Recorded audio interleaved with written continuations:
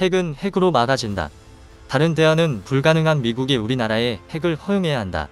중국을 막기 위해서라도 그런 위험에 대해 알려주기만 할 것이 아니라 우리도 그에 대비할 수 있도록 미사일 사거리 제한부터 풀어줘야 한다. 빨리빨리 핵미사일 만들어서 중공에게 한국을 향한 천 기의 신문에 일일 100개의 핵을 중공에게 배치해야 한다. 무슨 이유로 네티즌들이 그렇게 반응하고 댓글을 달았을까요?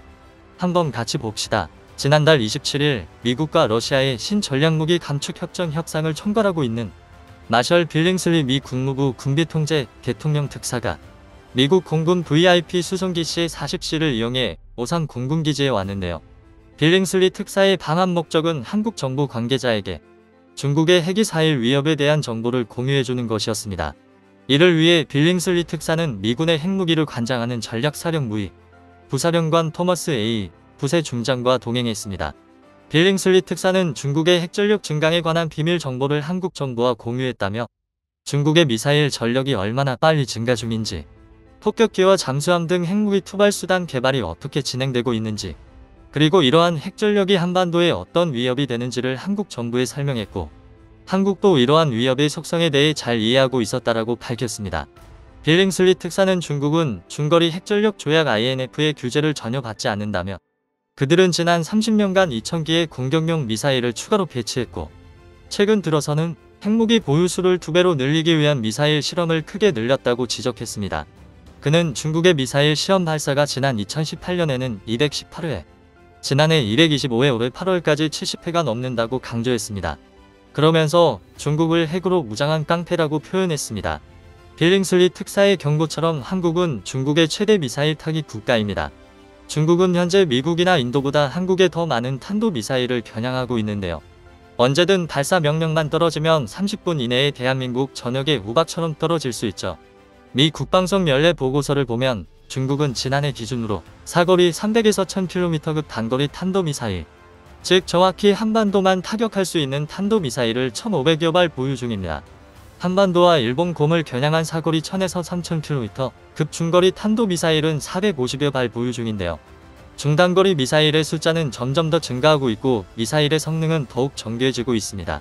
이는 한반도를 정밀 타격할 수 있다는 것입니다.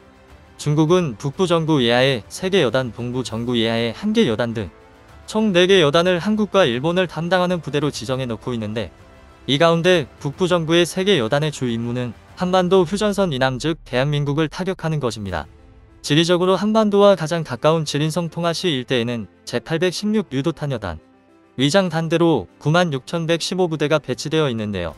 이 부대의 주력 장비인 DF-15 미사일은 최초 배치 당시에는 600km급 탄도 미사일이었지만 개량형인 DF-15A는 사거리 900km 추가 개량형인 DF-15B는 사거리 800에 세번형 공산 오차가 10m 이내로 줄어든 것으로 알려졌습니다. 이들 중 일부 모델은 한국군의 지하 지휘소를 파괴하기 위해 벙커버스터 능력이 부여됐고 90킬로톤급 핵탄두가 탑재되어 있습니다. 중국은 주한미군이 한국에 사드를 배치한 이후 816여 단의 DF-15 대체형으로 DF-16을 배치하고 있는데 이 미사일은 사거리 1200km의 핵탄두는 물론 활주로 파괴용 집속탄 두를 탑재할 수 있어 유사시 한국과 주한미군의 공군기지 활주로 레이더 사이트 파괴 최우선으로 사용될 전망입니다.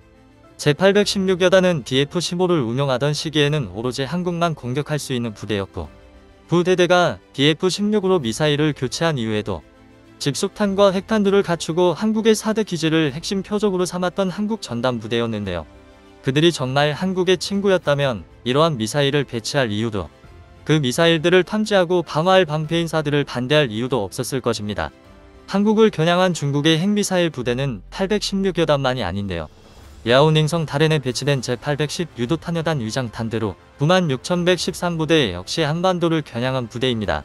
이 부대는 사거리 1700의 DF-21을 갖추고 한반도와 일본 규슈 일대의 미해병대 전력을 타격하는 임무를 가진 부대인데 최근 서해 훈련에서 드러난 것처럼 일부 대대가 DF-21D 대한 탄도미사일을 보급받고 서해 일대의 미 항모 전단이 진입하는 것을 차단하는 대함 타격 임무도 부여받고 있습니다.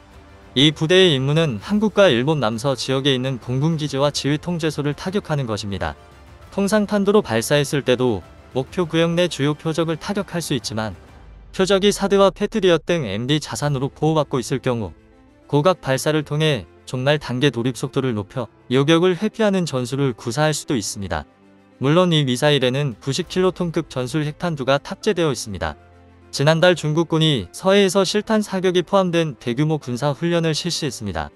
중국은 미국이 한반도 주변의 육해공 전력을 집결 증강하는 데 맞서 서해 일원에서 대규모 실탄 사격 훈련을 연달아 펼친 것이죠.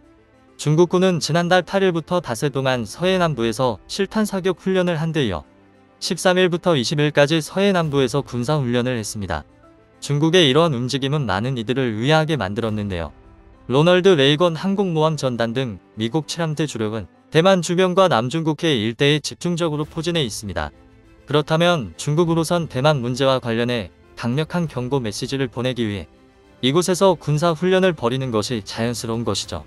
하지만 산둥반도 남동해역에서 훈련한 이유는 최근 미국의 움직임에 놀랐기 때문입니다.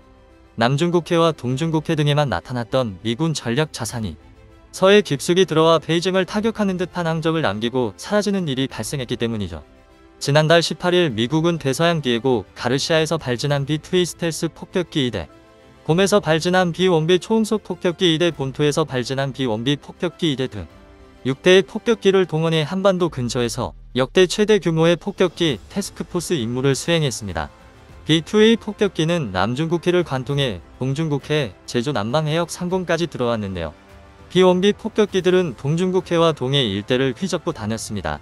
여기에 레이건 항로에서 발진한 전투기들 수십 대가 따라붙어 대규모 편대군을 구성했습니다. 물론 로널드 레이건 항모가 남중국해에 진입했다는 소식은 가짜 뉴스였습니다. 레이건 항모는 동중국해에 있었고 여기서 전투기를 발진시켜 폭격기 편대를 호위하는 임무를 맡았습니다. 미군 주요 전력이 남중국해에 집중되어 있다는 판단하에 남중국해 일대의 전력을 집중시킨 중국으로서는 허를 찔린 셈이죠. 그러나 더 큰 문제는 대규모 폭격기 편대군이 들어오기 하루 전 산둥반도 동쪽 끝 해안선에서 약 170km 정도 떨어진 서해 국제공역에 미 공군 소속 공중급유기 일대가 들어왔습니다. 기종은 KC-135R이었고 기체 번호는 60339로 지금까지 한반도 인근에서 한 번도 식별된 적이 없던 기체였습니다. 이 기체는 미 공중기동사령부 예하 제18 공군 소속 제92 공중급유비행단 소속인데요. 본래 주둔지는 미 워싱턴주 페어차일드 공군기지입니다. 92 공중급유 비행단은 미 공군의 장거리 원정 타격 임무를 지원하는 부대로 베트남전 이후 미군이 참전한 거의 모든 대규모 해외 공습 작전에 참여했습니다.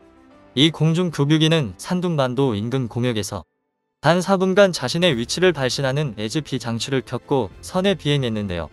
자신이 그 공역에 있으며 하늘을 돌며 누군가에게 공중급유를 해주고 있다는 사실을 의도적으로 알린 것이죠. 중국에 엄청난 충격이 됐을 것입니다. 장거리 공습 임무를 지원하는 미 공군 공중 급유기가 서해 상공에 나타나 누군가에게 공중 급유를 제공하는 경우는 하나뿐입니다. 해당 공역에 미 공군 전투기 또는 폭격기가 진입했다는 얘기죠. 이 공역에 진입할 수 있는 미군기는 세 종류로 압축됩니다. 디에고, 가르시아에 배치된 B-2A 곰에 배치된 B-1B, 폭격기 마지막으로 주한미군 F-16 전투기입니다. 어느 기종이 됐든 중국에는 오금이 저리는 상황이었을 건데요. B2A가 들어왔다면 중국은 완전히 허를 찔린 셈입니다.